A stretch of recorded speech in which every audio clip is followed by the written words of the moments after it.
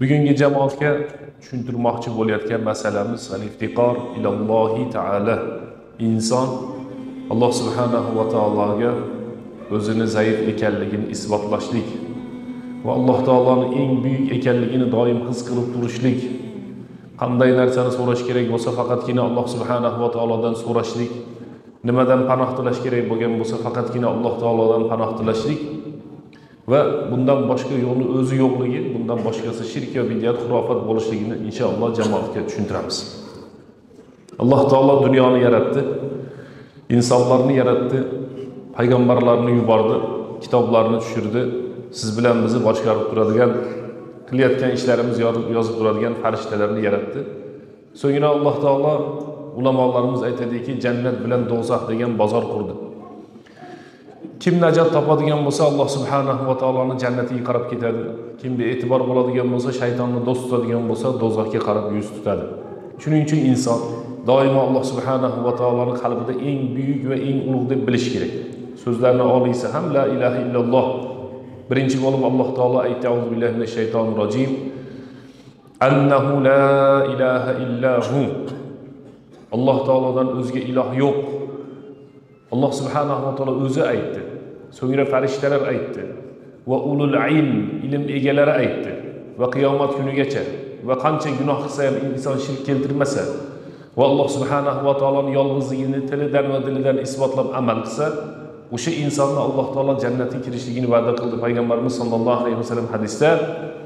Qiyomat kunida insonlarni amallari yomon bo'lsa ham ammo bitoqa degan hadisda bitta la ilaha illalloh kalimasi amal daftarida topiladigan bo'lsa qancha azob bo'lmasin baribir jannatga kiradi deb payg'ambarimiz sollallohu alayhi vasallam aytdilar.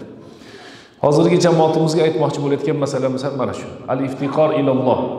Inson doimo alloh subhanahu va taologa muhtojligini e'lon qilib yashash kerak.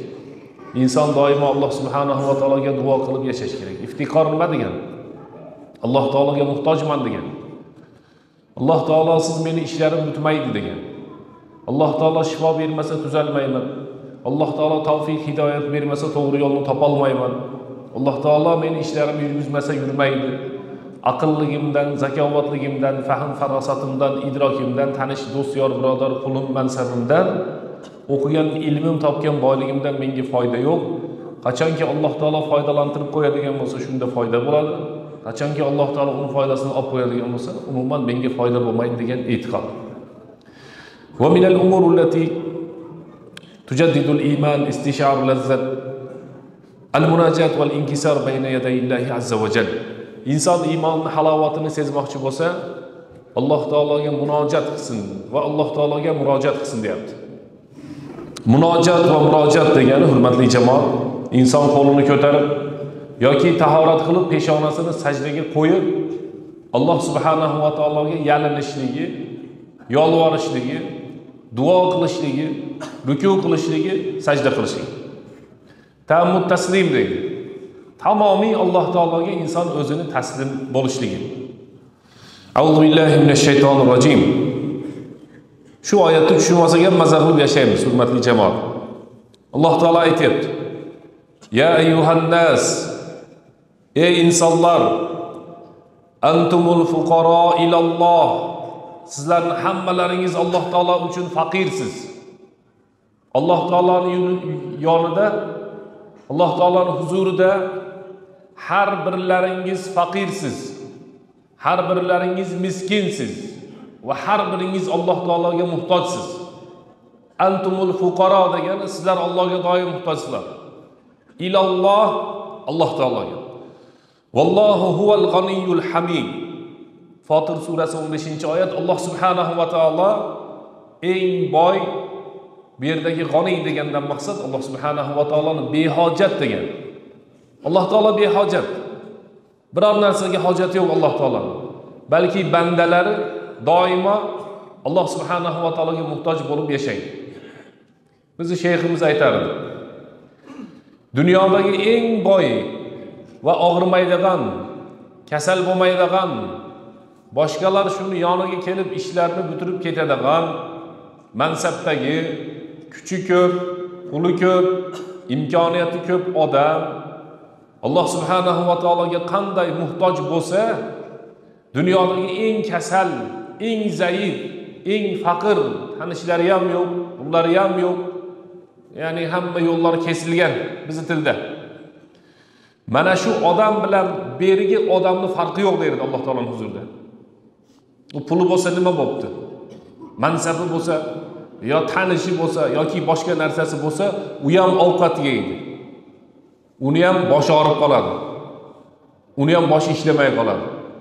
Uni ham hamma aytgani bo'lavermaydi va alloh subhanahu va taologa o'sha qanday muhtoj bo'lsa eng faqir eng miskin eng kasal odam ham xuddi shunday muhtoj bo'ladi. Biz e'tiqodimiz shunday bo'lishi kerak. Bizni tushunchamiz e'tiqod tushuncha degani shunday bo'lishi kerak. Alloh taologa qachon muhtoj bo'lamiz? Har zamonda va har makonda har ko'rinishda alloh subhanahu va taologa muhtojmiz. O'zi aslida bandasi.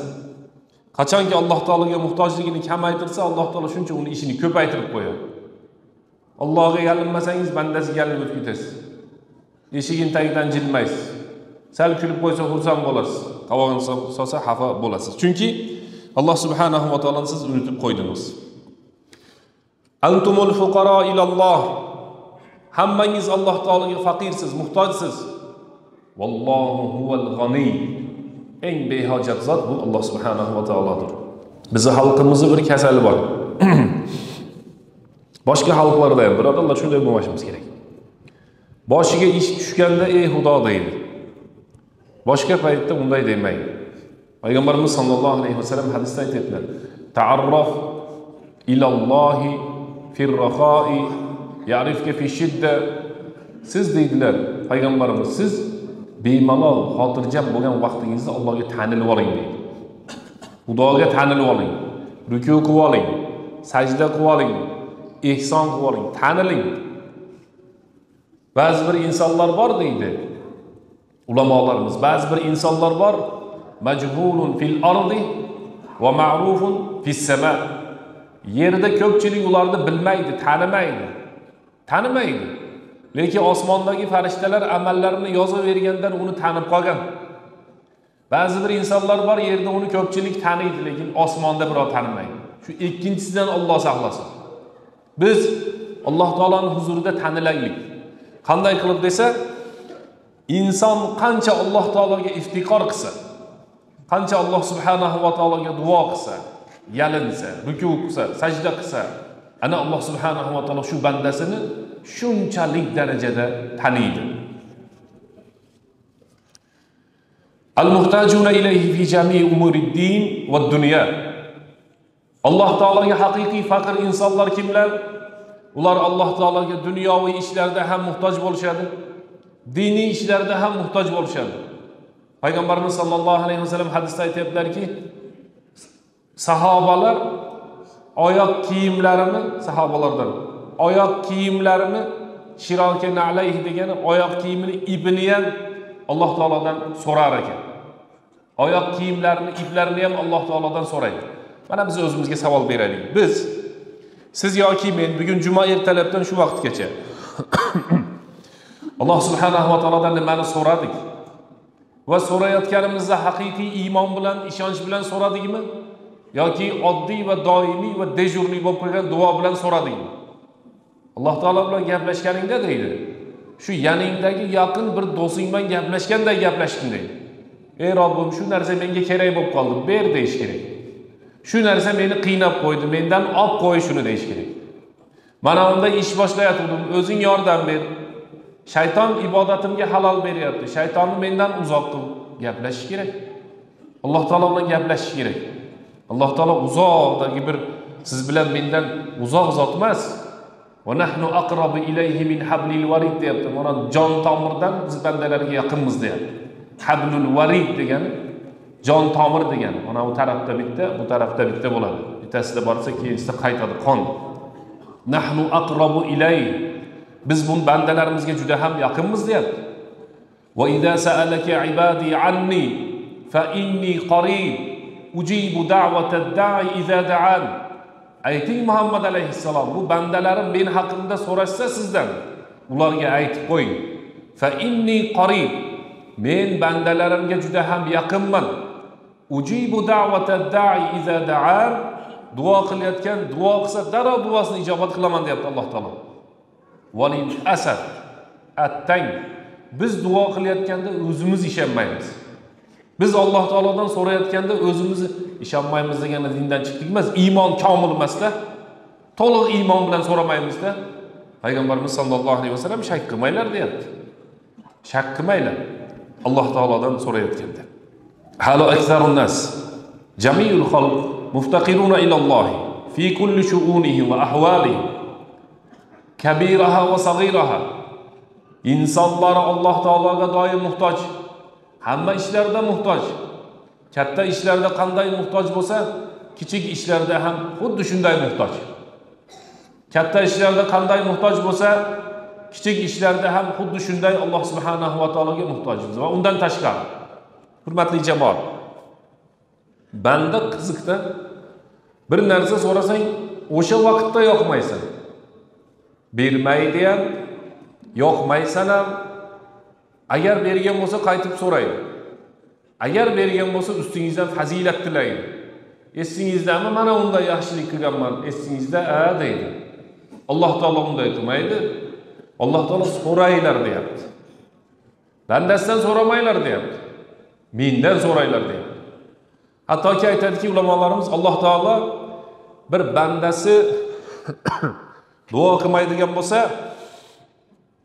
qur'oni karimda aytyaptiki yastakbiruna an ibadati. Duo ibodatlarni eng kattasi. Meni ibodatimdan kibr qiladiganlar deyapti alloh taolo. Ya'ni menga duo qilmaydiganlar deyapti. Duo qilmaslik kibr ekan. Alloh taologa yalinmaslik kibr yolvormaslik kibr. Shuning uchun mutakabbirni kattasi kim desa benamoz deyiladi nimaga? Peshonasini sajdaga qo'ygisi kelmaydida bu mutakabbir iza lahum ruk'u la yarka'un deyapti. Ularga ruku qilinglar deyilsa ruku qilmaydi deyapti. Shuning uchun biz jamoatga aytamiz hurmatli jamoat namoz insonni kibridan uzoqlashtiradi. Namoz insonni alloh taologa yaqinlashtiradi. La nas'aluka rizqon nahnu narzuquk deyapti. Rizq ko'payishiga ba'zan sabab bo'ladi. Va'mur ahlaka bis saloti vastabir alayha. Uydagilaringizga namozga buyuring. Ota bo'lsa bola chaqasini aka ukasini namozga buyuring deyapti. Vastabir alayha. Buyurgandan so'ng sabr qiling. Bir o'qiydi bir o'qimaydi. Sabr qiling. Bu degani o'zing birinchi bo'lib o'qi degani. Vastabir alayha. Vastabir bilan sabrni ma'nosi vastabir degani ko'proq sabr qil degan vasbir to harf qo'shilmadi. Vastabirda to harf qo'shildi. Arab tilini qoidasida aytiladiki ziyadatun fil mabna ziyadatun fil ma'na. Mabnosida so'zda ziyoda bo'lishlik ma'nosida ziyoda bo'lishlikka dalolatdir deydi. O'sha namoz o'qimayotgan odamlarni ishi juda yam qiyin. Namoz o'qimagan odamlarni ahvoli qiyin. Hamma yoqqa ahli yetadi namoz o'qimayapti. Bu aytish kerak. Ey xudo nimaga meni o'zingdan uzoq qilib namoz o'qitmayapsan? Ruku qilay desam qilolmayapman sajda qilay desam qilolmayapman. Men ham namoz o'qiy deb aytish kerakda shu odam. Shunday deb aytish kerak. Bunday demayapti bizgilar. Namoz o'qimayapti ancha munchasi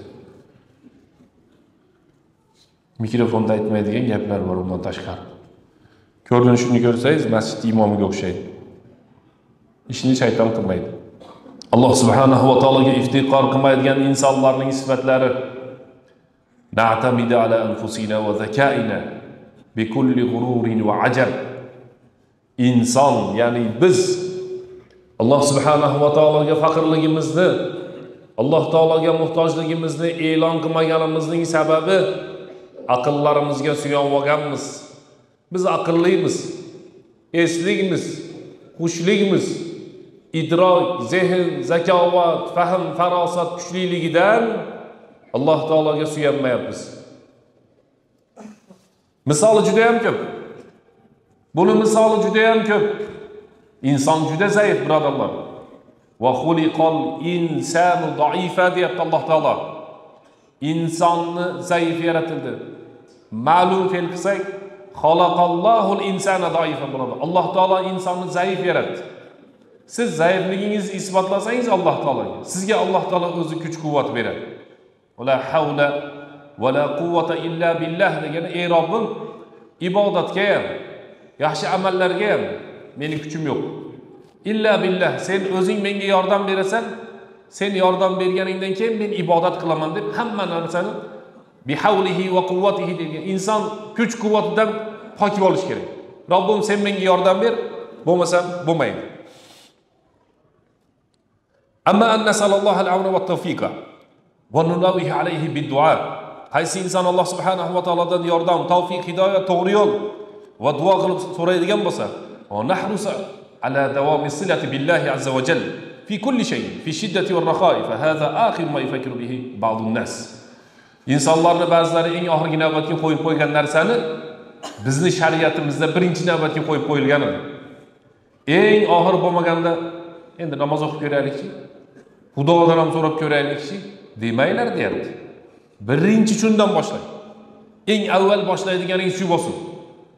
Al avval huvalloh val axir huvalloh al zohir huvalloh al batini huvalloh. Avval ham olloh oxiri ham olloh zohiri ham botini ham yordam beradigani ham rizq beradigani ham sizni balo ofat qazolardan saqlab qo'yadigani ham olloh saqlasin. Yomonlikdan olloh bersin tavfiq hidoyatni. Qaysi inson man kana billahi arof deydi. Qaysi inson alloh subhanahu va taoloni qanchalik tanisa kana minhu ahvaf alloh taolodan eng qo'rqadigan bandani safidan kiradi biz faqatgina shu alloh subhanahu va taoloni tanimaymiz hamma muammomiz mana shu yerda. Aytyaptiki o'z nafslarimizga zakovatlarimizga g'urur va ajablangan holatda suyanamiz. Nafsimizga suyanmaylik. Nafsimiz nafas ololmay qolsa nafs emas bo'lib qoladi. Ovqat yeyolmay qolsa ko'zi ko'rmay qolsa qulog'i eshitmay qolsa qo'li ushlamay qolsa oyog'i bosmay qolsa qayerga boradi? Hammamiz to'planib ko'mib qo'yamiz. Keyin qayerga boradi? Summa maza. Misrda shuni aytardi shayximiz qayta qayta. So'ngra nima? Va sen kimsan? Va qayerga ketyapsan? O'zi qayerdan kelding? Mana shu uchta savol. Doim shu narsani aytib yuradi. Qayerdan kelding? Olloh yaratdi. Qayerda yuribsan? Mehmonxonada. Bu dunyo mehmonxona остановка qabiru sabil. Qayerga borasan? Qabrga. Ha nimaga endi shuncha to'polon? Lazzatul la tusafu. Fi anna al-istinkar fi anna al-inkisar bayna yaday rob va munadatihi va duoihi lazzatun la tusaf.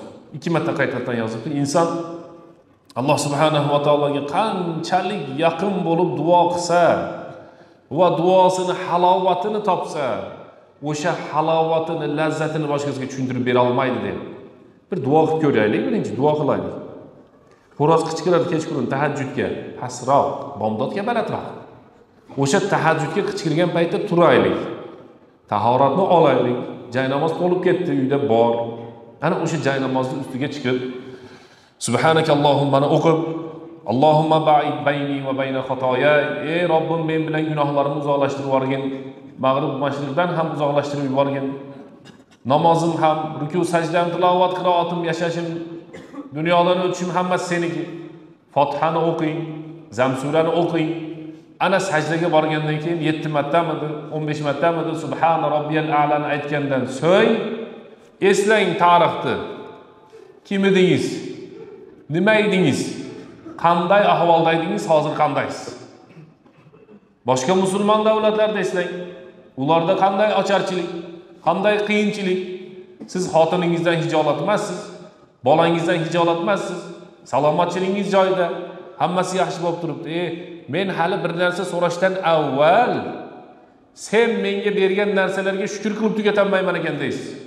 Hali siz alloh taolodan so'ramasdan avval sizga alloh taolo bergan ne'matni sanab tugatolmaysiz in la tuhsuha. Ana o'sha paytda alloh subhanahu va taolo bandasiga yana beradi. Ibrohim alayhissalom mashhur qissasi yodlab yubordik hammamiz bilamiz. Xalqi to'plandi jamlandi. Ibrohim alayhissalomni o'tga tashlaymiz degan maslahat bo'ldi. Bu payg'ambarimiz sollallohu alayhi vasallamga ham ko'p maslahat bo'lgan. Qanday qilsak yo'q qilib yuboramiz? Qanday qilsak da'vatini to'xtatamiz? Qanday qilsak og'zini yopib qo'yamiz? Sen dedi bir kuni makka mushriklar to'planib ey muhammad sen xohlasang boshchimiz bo'l.